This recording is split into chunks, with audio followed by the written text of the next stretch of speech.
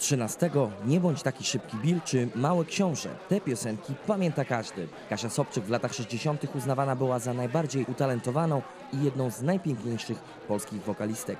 Dziś od lat mieszkająca w Stanach Zjednoczonych artystka myśli o powrocie na scenę, zmagając się z walką z chorobą nowotworową. W Chicago odbył się koncert charytatywny, którego dochód przeznaczony będzie na pokrycie kosztów terapii, która Kasi Sobczyk uratować ma życie. Sama artystka, jak zwykle, tryska humorem i nie chce mówić o chorobie. Nie będę mówiła o moich y, y, bolączkach, tak się wyrażę. Y,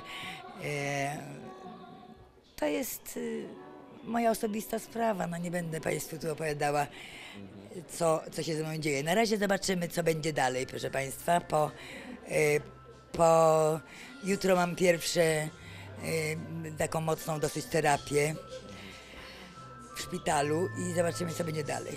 Nie wiem. To zależy od naszego stwórcy, pana.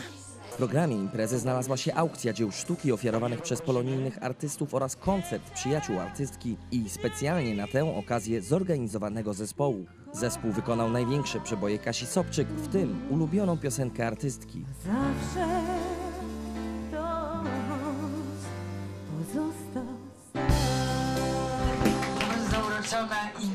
za, za nie mówiłam. Chyba jej nie dorównam. Coś wspaniałego, proszę Państwa. Wielki talent. Były wszystkie koleżanki. y, Wszyscy byli świetni. Wszystkie znakomite panie. A ja wiem, ja wiem, tylko ja akurat do mojego księcia podchodzę, ponieważ to moja ukochana, więc jestem tak, ukochana piosenka.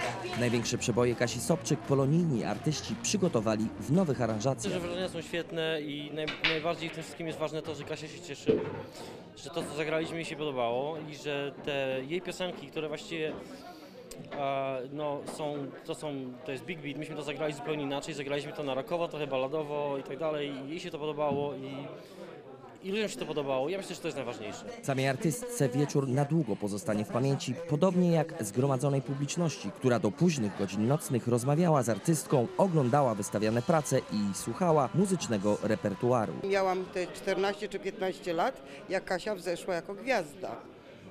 Tak, uwielbiam ją i do dzisiejszego dnia przyjaźnimy się i jestem zauroczona jej twórczością.